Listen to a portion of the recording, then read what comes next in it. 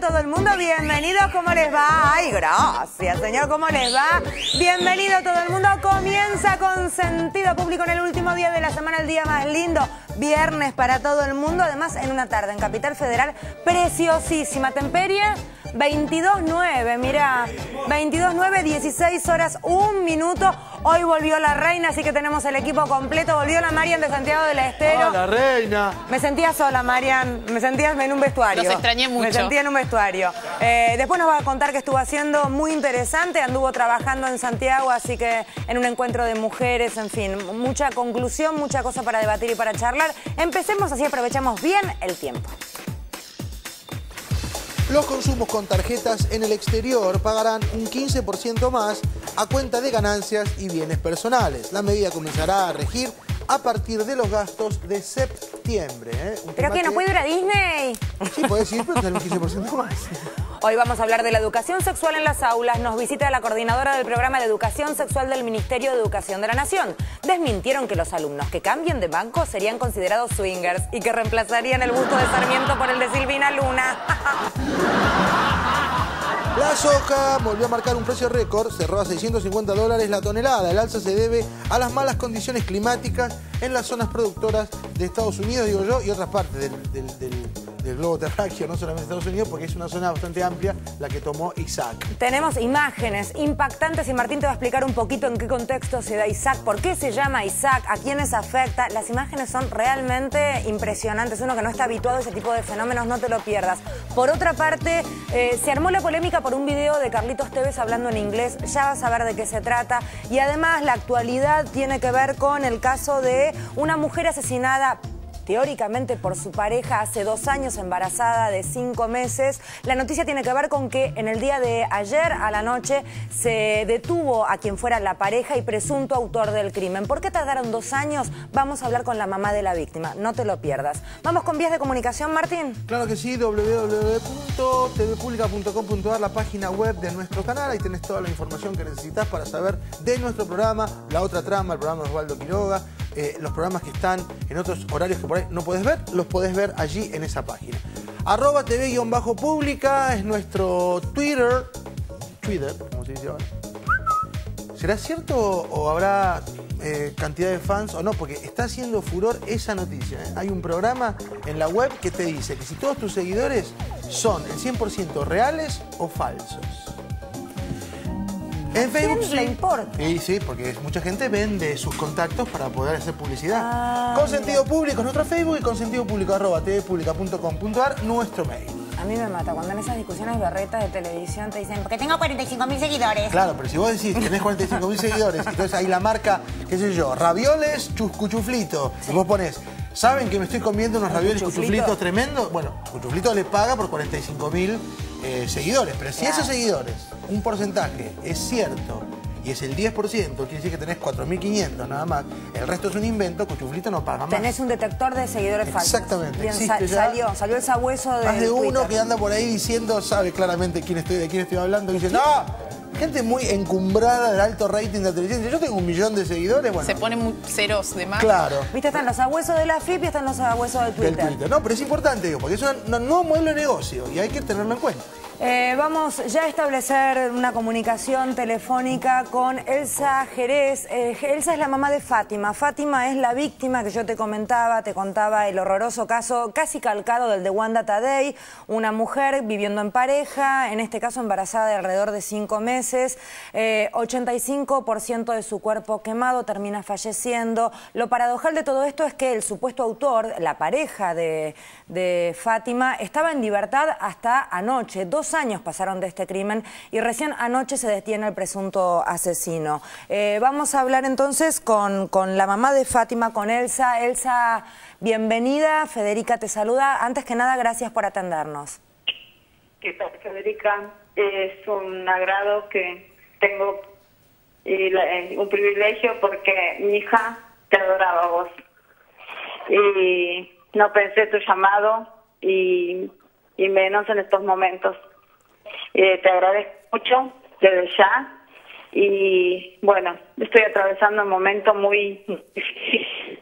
Este, Fátima estaba embarazada de cinco semanas, corazón.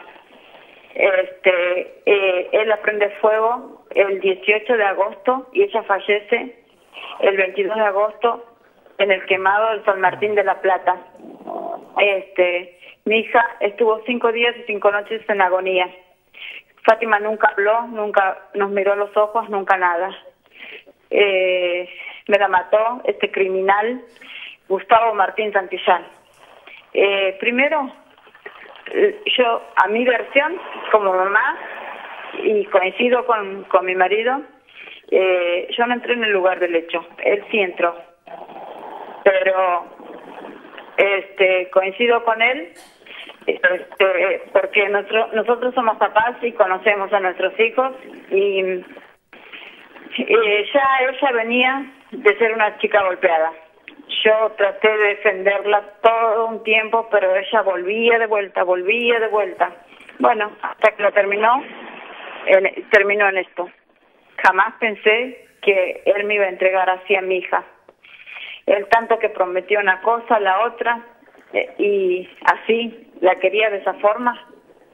Y te digo que en una palabra nos destruyó la vida a todos y me quedé con, con un solo hijo y, y bueno, eh, aparte ese tipo quedó dos años libre, hice muchos cambios, este, muchos cambios eh, en la causa. Él dice que era un suicidio, no era un suicidio. Él se escapa del hospital Evita al otro día, eh, la abandona a ella. Eh, bueno, eh, esa misma noche del 18, los hermanos de él limpian todas las el lugar esto. él pensó que la mató con los golpes que le dio. ¿Y qué pasó? No sabía qué hacer eh, eh, con el cuerpo. Ahora le prendió fuego. La sacó al patiecito y le prendió fuego. Y los hermanos, esa misma noche, eh, mi esposo viene con mi hijo a, al departamento y cuando pasan por ahí, por el departamento, ya había dos camionetas, un auto cargando todas las cosas. Él trabaja en la empresa Intercargo en el aeropuerto de Ceiza. Eh, estaba en la parte de pista, está apodado como Chaco. Elsa, eh, Elsa, permíteme, hay, hay, una cuestión que cuando yo leía la reseña del caso no terminaba de, de entender desde el enojo, si querés. ¿Cómo puede estar esta persona dos años sin ningún tipo de problema libre, aunque sea siendo investigado? Digo, ¿qué pasó ahí que dos años estuvo libre esta persona? Mira, cuando él tuvo tiempo de armar como a él se le dio la gana. Las Exactamente, por eso no entiendo esa parte. ¿Eh? Eso es lo que no entiendo, ¿cómo se le permite esto? Y se le permite por soborno, por soborno, porque viste cuando vos sobornás a la gente, y hay gente que, es materialista, y este tipo es materialista. Y él me la mata, ¿por qué? Porque él ese día tenía Franco, se reunió con los, con los amigos, y Fátima eh, era muy celosa y, seguro que le habrá reclamado y le avisó que estaba embarazada. Elsa, Elsa, Mariana Carvajal la saluda.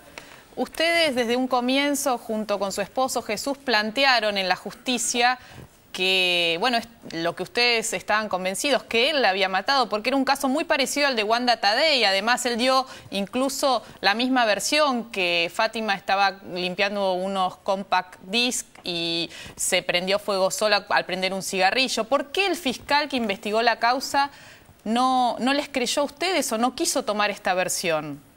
Porque estaba, se fueron Judas y la abogada también. ¿Cómo, perdón? Se vendieron. Se vendieron, dice usted. Sí, la abogada Karina Chembrí también se vendió. Y cosa que lo hizo quedar mal al, al doctor Palacios de La Plata eh, de atención a la víctima. Lo hizo quedar muy mal esa mujer, eh, Karina Chembrí y Cristian Ferreira. Elsa, eh, ustedes, eh, lo que yo tengo aquí como reseña dice que tu hija había llegado a grabar algunas situaciones de maltrato para que quedaran como testimonio, nunca imaginando, por supuesto, este final. ¿Esto es correcto y que ese material desapareció? ¿Es correcto? Había una cámara ahí eh, eh, eh, para que monitoreaban muchas cosas.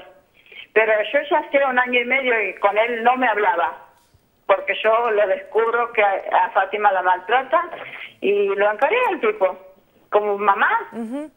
Lo encaré, mi hijo era muy chico todavía en ese entonces, fue, trajo a la policía. Y cómo son las casualidades de la vida, que ese mismo policía que esa vez eh, vio y, y mi hija no quiso denunciarlo, este, pero él le dice al papá de Fátima, este, mira, si mal lo recuerdo, yo estuve hace dos años o, o cerca de dos años. Cuando llegamos en el lugar, te aviso si era o no era tu hija, pero yo me acuerdo. Tu hijo se llama Nahuel o Manuel, y ahí él le, dice, no, soy Nahuel, y le dice, creciste si te desconozco, y yo soy más viejo, le dijo el policía. Bueno, es, eh, este testimonio, eh, Elsa, este es el testimonio del, del, policía que resultó tan importante para eh, ordenar ahora la detención. Entonces, porque él recordaba que había eh, ayudado a Fátima. Él, él, le dijo, vamos, te llevamos en el móvil hasta la casa de tu mamá, tu mamá, ese tiempo le cubría la obra social del papá de, de Fati a, ella. Y ella no quiso ir. Va, no la dejó salir él. Y ella dijo, no, no, no, no, no, no, y bueno, este, pero mira, esa noche del, del caso del 18, el mismo policía le dice, sí, yo vine acá, pasó eso, eso, aquello. En ese tiempo mi esposo estaba afuera trabajando, en Salta, creo. Y bueno, él le dice, sí, no la dejó ir a, tu hija. Y bueno, este, y él, el policía mismo le dice, Fátima, anda con tu mamá porque el loco te va a terminar matando. Le dijo el policía. Sí, sos joven, sos linda, le lamentablemente son casi calcados todos los casos y el entorno registra mucho antes que es mucho más peligroso de lo que los protagonistas a lo mejor creen que está pasando. Elsa, la verdad, eh, queríamos que quedara eh, asentado que a veces la justicia, no solamente el dolor de la muerte de tu hija, sino lograr que se empiece a investigar en otra dirección a veces cuesta mucho y no queríamos dejarlo pasar. Gracias. Eh, ¿Sabes lo que pido? Justicia. Justicia y que él, ah, yo no estoy conforme todavía, porque él no declaró, ¿eh? Claro, está clarísimo. Él está detenido, pero no está no declaró. Está clarísimo. Y, y yo no quiero que, yo tengo miedo que él quede libre, que pague y quede libre. Este, porque yo sé que va, eh, tengo miedo de eso, tengo miedo. Ya escapó del hospital, nunca dio la cara, en dos años vivió haciéndonos la vida imposible mandó a secuestrar a mi hijo, mandó a amenazar al abogado, eh, hasta la semana pasada amenazó a mi marido que se va a quedar la causa, que, que va a llorar el triple. ¿Y de quién está hablando ahí, el, triple? Si a mi marido le queda yo, eh, el hijo y nadie más. ¿A quién va a llorar? Está, ¿Eh? está clarísimo. Eh, ¿Está hablando del abogado, del fiscal, del juez? ¿De quién habla? Estamos... ¿Quién manda a amenazar? Estamos este, siguiendo el caso... ayer en tribunales estoy basureada por la familia de él, pero me callé la boca, bajé la cabeza, me callé la boca, me aguanté todo y me vengo aguantando hace dos años. En cualquier rato, si mi corazón explota, no sé, pero me parece que ya es de plástico mi corazón, Federica. Pero eh, yo esto, por más que a él le den 100 años, yo no voy a ser feliz nunca, porque mi hija no tiene un precio. ¿eh? Está clarísimo. Mi hija, mi hija, mi compañera, mi amiga, todo. Y yo nunca voy a conocer a ese hijo que venía en camino. ¿Te das cuenta? Ese tipo no tiene sangre en las venas. ¿eh? Mató a su propio hijo y a la madre. ¿eh? Eso es lo que me revienta. ¿Por qué no me lo hizo a mí, no a Fátima? La, idea era justamente reflejar un poco en qué estaba la causa. Nos preocupa que se haga justicia tanto como a vos y queremos que sepas que estamos para lo que necesites. Muchas gracias. Gracias Federica y también este nosotros este yo me uní a las chicas del sur este son eh, que formamos eh, y bueno este me uní a ellas eh, por la violencia de género y tenemos muchos casos y, y yo hoy este dejé el caso de esa chica de La Plata que está olvidada y el número de teléfono de, del hermano. Eh, no me acuerdo el nombre de, la piba, pero eh, este, yo dejé el número de teléfono del hermano. Es, es, un tema que tenemos muy en cuenta. De hecho, Mariana Carabajal es integrante del equipo y es experta en temas de violencia de género, entre otros, así que nos interesa el tema. Muchísimas gracias. Gracias a vos, Federica, y mil gracias. Esto como lo sacas en en el diario, como... Está, está saliendo al aire por la pantalla de Canal 7. Ah, ¿cuándo lo repiten? Eh, no, no lo estás en vivo en este momento, pero después te metes en la página, Martín va a repetir de qué manera podés encontrarlo en la mediateca de la página que tiene el canal en, en la red, ¿sí? en, el canal de la red. Ah, no, no, no. Eh, contale, Martín, decirle la dirección, así Puedes ir a www.tvpublica.com.ar y vas a encontrar esta nota que hicimos con vos en vivo en este mismo momento. Eh, no te escuché nada. Canal 7. Bueno, busca la página de la televisión pública y ahí nos vas a encontrar y vas a encontrar la nota que acabamos de hacer. En internet. Eh... Después producción te explica. Dale. Bueno, dale, dale, dale. Beso, gracias. gracias. Muchas gracias. Eh, Sí, acá un caso terrible, ¿no? La familia esperando justicia dos años para detener a este, esta persona que es sospechoso, ¿no? Que se investigue, este era el punto. Y lo interesante para señalar, y con esto cerramos, es que hubo un juez que entendió de qué se trata la violencia de género, que fue el juez eh, Gabriel Vitali de Lomas de Zamora, que unió que había denuncias anteriores, que estaba este testimonio de este policía, que los vecinos habían escuchado peleas y y al unir toda esta historia, que son los casos que suceden, que por ahí no quedan asentados o no hay condenas previas por las amenazas o por el hostigamiento, y es que lleva finalmente adelante esta investigación para que declare como imputado, porque hasta ahora era un testigo en la causa y, no habían investigado, la justicia no, no lo había investigado. Vamos a una cuestión bastante más terrenal y que tiene que ver con los consumos con tarjeta de crédito, de débito y demás cuestiones en el exterior. La noticia hoy hablaba de que iba a salir un 15% más caro. Creo que es una noticia que estaba mal contada o mal interpretada o servía para un titular, Alfred. Así es, es una noticia vinculada con el tema impositivo, no cambiario. Pues fíjate hay una eh, diferencia sustancial. ¿Por qué te digo que es impositivo? Porque todos los que hagan consumos con tarjetas de crédito, solo tarjeta de crédito en el exterior, cuando venga el resumen, te van a cobrar un 15%, pero a cuenta del pago de ganancia y de bienes personales. Si vos estás inscripto y tenés que pagar bienes personales y o el impuesto a las ganancias, en el momento de tu balance fiscal anual, cuando surja un monto que tengas que pagar, se, vas a tener que descontar automáticamente este monto que te retienen previamente por estos consumos en el exterior. Entonces es una diferencia sustancial, está vinculado con el tema impositivo. Además, uno dice, bueno, ¿a cuántos afecta esta medida fiscal impositiva? Hay dos millones y medio de tarjetas de crédito que se usaron en el exterior en los últimos 18 meses.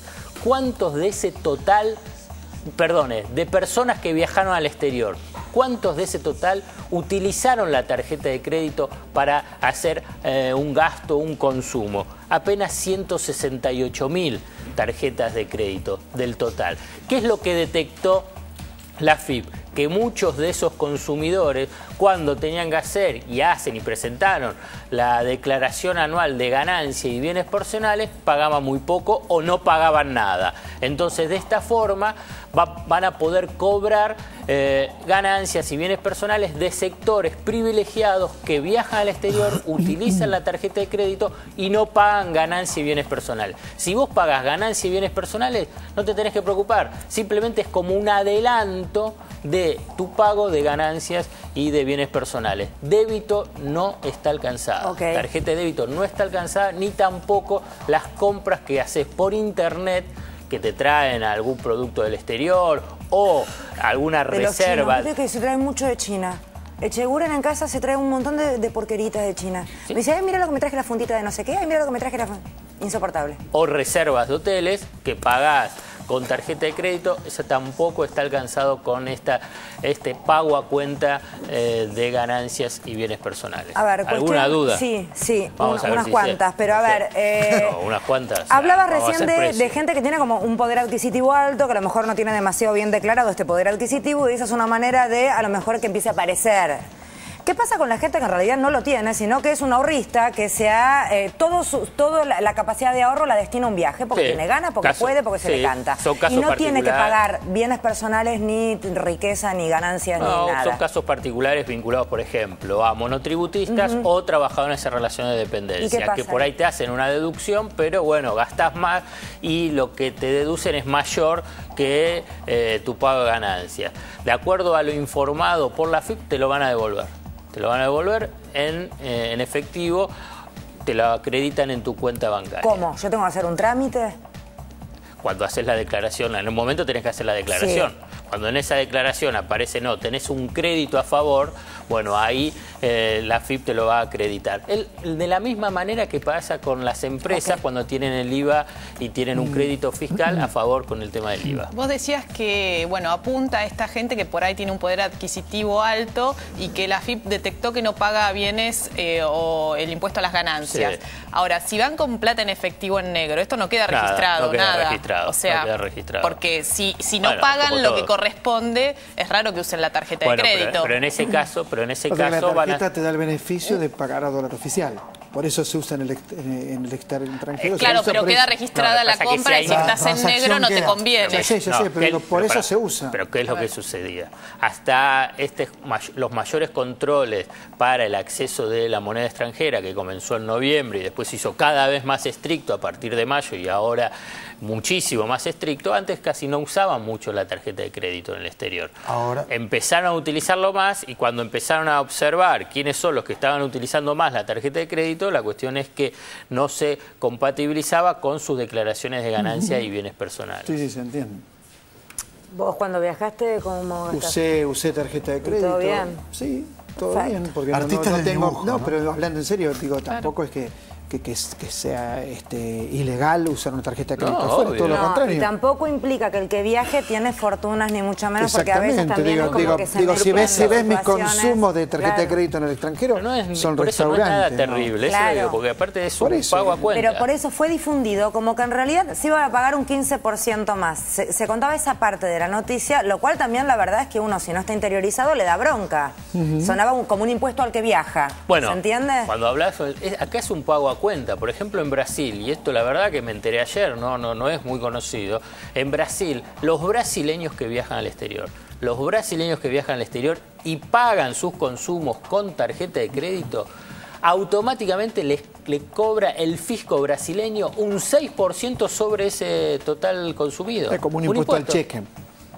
Un impuesto al viaje. Un, impuesto al consumo en el exterior. Entonces le cobran directamente un 6%. Aquí no es que se cobra un impuesto, sino que pagas a cuenta el impuesto de ganancia y bienes personales. Bien, clarísimo, Alfred. Eh, vamos ahora a contarte que comenzó el Festival de Cine Nueva Mirada y el capo absoluto de la cultura del cine, del teatro y de los libros. Te voy a explicar exactamente de qué se trata. Eh, la verdad de nada de eso soy el capo y menos absoluto, mucho menos absoluto. Pero Nueva Mirada para la infancia y la juventud comenzó con la película Yoko, que es una película alemana, está hasta el 5 de septiembre, comenzó en el espacio Inca, pero va a extenderse en distintos lugares que vamos a, ir dándole los lugares por si tiene ganas de disfrutarlos. Pero quizás lo más llamativo fue el encuentro de Campanella que hizo un avance y mostró parte de la película que está haciendo de animación, que está inspirada en un cuento de Fontana Rosa. Y habló con alumnos de colegio primaria. Es muy divertido el cuento, porque el cuento parte de un, de un supuesto futbolista que habla de su equipo. Y el equipo en realidad es un equipo de metegol. Entonces se va armando un equipo de, de metegol donde está el filósofo, el fanfarrón, uno rudo, uno más miedoso y así se va creando el equipo. Eh, Campanella no es un fanático del fútbol, dicho por él, ¿no es cierto? Y habla de que le interesan mucho las pasiones que genera el fútbol y aclara menos la violencia, obviamente. Eh, lo que presentó, yo no, tuve oportunidad de verlo, pero estoy bastante al tanto de lo que está haciendo. Eh, intuyo que es realmente excelente, como casi todo lo que he visto de Campanella. Y cuando le preguntaron los alumnos cuántos Oscar, le preguntaron, había ganado, Campanella dijo en realidad no gané ninguno, porque lo ganaron las 100 personas que trabajaron en la película. En realidad yo no gané ninguno, es decir, le dio un lugar importante al trabajo de equipo. No es solo Campanella quienes están en este festival, hay películas italianas, hay películas coreanas, hay películas norteamericanas, hay películas belgas. ¿Cuál es el objetivo? Mostrar un cine discutible el criterio para mí que va orientado a la infancia y la juventud. Digo discutible porque infancia y juventud son dos cosas bastante distintas. Sin embargo, se pueden reunir con películas que irán más dirigidas al público más, más infantil y otras que irán más dirigidas a los adolescentes. Lo cierto es que los temas que se presentan en las películas, por lo menos en otros festivales, eh, son muy importantes y son temas a debatir y, esto ocurre únicamente en un festival con estas características, si no es imposible ver estas películas que dicho sea de paso están Centro Cultural Sur, eh, Instituto Bernasconi, Centro Cultural Unión, es decir, en distintos sitios de la capital. No hay más que ingresar al Google, buscar nuevas miradas y ahí va a aparecer la programación completa. Muy bien, señor, muchas gracias. Vamos a, además, el fútbol es un muy buen pretexto para hablar justamente hablando de equipos. En, el fútbol, en una cancha, vos claramente ves la naturaleza de la gente. Es un pretexto para, para ver cómo vos tenés al tipo que es solidario, tenés al tipo que es más egoísta, al más ególatra. Se nota claramente la personalidad y la forma de ser de la gente a través de una cancha de fútbol. Sirve como metáfora, es muy, pero muy interesante. Vamos ahora a, un, a, un, a una mochila, en realidad es una efeméride y el pretexto es para traer una mochila entrañable. Bueno, eh, un día como hoy, pero de 1997, moría el negro Brizuela Méndez, Guillermo Brizuela Méndez. Yo me animo a decir que hay un rubro en la televisión que no tiene un perfil definido sobre estos días, que es el de conductor. Si bien existe el conductor y uno puede decir, fulano es conductor, nosotros también somos conductores, no tiene una tradición eh, formada en nombres, pero sí tiene una historia y un comienzo. Y comienza justamente con el negro Visuela Méndez, porque es el paradigma del conductor. Arranca en la primera transmisión en blanco y negro de Canal 7, en aquel momento Radio Belgrano, pasado eh, a, la televisión. La primera, ¿se acuerda? La que recordábamos del 17 de octubre de 1951. Bueno, esa voz era la voz de Visuela Méndez. Y a partir de allí, el negro Visuela Méndez, como le decían, comienza a tener una carrera que tiene que ver con llevar adelante un programa que está armado de determinada manera, dándole lugar a los que estaban participando adentro. Y eso no es más ni menos que ser un conductor. Trabajó mucho, treinta y pico de años en la televisión, y los últimos años, cerca de su muerte, se olvidaron de él. También hay que decir las cosas como son. A tal punto que lo llevaban a los programas y le decían todo el tiempo maestro, maestro, maestro. Y él cuando salía decía, la verdad que estoy convencido soy un maestro, porque me dicen maestro, maestro, y cuando salgo vivo con la guita de un maestro, no me alcanza ni para nada. ¿Te, acordás de la Feria de la Alegría? La Feria de la Alegría con Colomba, trabajó en el cine, actuó en el cine, laburó mucho, eh, hizo películas donde decía de conductor, justamente. Y eh, fue una de las voces más importantes que tuvo la televisión argentina porque eh, solía apoyarse en una risa perfecta y terminaba las frases con risa y llevaba a la gente a una alegría enorme. Vamos a ver dos partes del negro solamente. Primero, conduciendo una partecita de un viejo programa y después una publicidad que es muy graciosa, donde, bueno, venden ropa, no te lo puedes perder. Un homenaje al que yo digo, me animo a decir, es el padre de los conductores de la televisión argentina, el negro Guillermo Brizuela Méndez. Muy buenas tardes. La firma que auspicia estos programas, Fernando Cruz, Cruz y Cruz, se complace en presentarles felices y agradables hechos comunes de la vida diaria que merecen el premio y el estímulo que despiertan los hombres honrados. Aquí tenemos uno de ellos. Un aplauso para el señor. señor? Acérquese al micrófono. No tenga miedo, aquí nomás. Señor Perfecto López. ¿qué nos puede decir de su magnífico gesto de honradez? ¿Y qué puedo decir yo? Señorita profesora, se lo ruego, no me liquide. Caramba, niño. ¿Acaso cree que soy la Mondiale? Sí, porque la Mondial liquida arrasando con todos los precios altos. Vean qué trajes. Valían 1.500, 2.000 y 3.000 pesos. Ahora usted los compra con 690, 990 y 1.590 pesos. Y para jovencitos ahora todos los trajes liquidados desde 650 pesos. No se pierda esta arrasante liquidación de la Mondiale en el 801 de Avenida de Mayo, esquina Piedra. El Palacio del Bien Vestir. Créditos a sola firma. Yo me encantó, me encantó. Arrasante Yo liquidación. me fui a Avenida Mayo y Piedras a ver si estaba. No, obviamente, cambió todo, pero me dio como un una local de nostalgia. comida rápida. No me acuerdo, algo de llorar. eso. Digo, eh, no solamente del negro y solamente, sino cómo era Buenos Aires, ¿no? Que eh, fue durante mucho tiempo esa capital donde la moda y la tendencia, hoy también lo es, pero digo, en aquel momento era muy importante. Fíjate lo que era la publicidad de, de ¿Pero por qué fuiste a la esquina? Eso Me no dio lo nostalgia ir a verlo, a ver qué había ahora. Pero ¿y le contaste a tu terapeuta que fuiste a la esquina a ver No, algo hablo que no otras cosas. existe? Le pareció muy interesante y me dijo, estás, ya te doy la alta. La tomaste alta. un cafecito Le ahí. dije eso y me dijo, ya, no vengas más, te doy el alta. Para mí Está muy bueno lo que hizo. Sí, para mí también, para mí también. Yo lo entiendo. ¿Vos también, Alf? Por Ahora nos vamos todos a ver qué hay. Dale. Yo fui a termina la casa de. A nadie le interesa. Mariquita Sánchez. Ah, bueno, viste, ah, porque vos sos un jodón, te digo, Eh, honestamente. pero está, está en San Isidro. Entonces puedes recorrerla, puedes ver. No, no, perdón, perdón, perdón. La casa de Meridita Sánchez, la bueno. donde se cantó el himno. Florida, la empezamos, calle empezamos, Florida. empezamos Hay un restaurante. No, tampoco. tenemos Hay una casa de hacer. música. En el Perdón, bloque hay que- una pizzería que a está la placa. Está La la casa de música. Es una pizzería. Vamos a está hablar la- de cómo se va a implementar la educación sexual en los colegios. Medida que en un principio provocó mucho revuelo, hoy ya no tanto, pero querés saber cómo se va a hacer. Bueno, tenemos aquí a uno de los máximos responsables de lo que va a ser este plan de educación sexual. Eh, polémica con un video de Carlitos Tevez hablando en inglés y la mofa generalizada eh, a partir de cómo habla. A ver qué te parece a vos. No te vayas, tenemos de todo.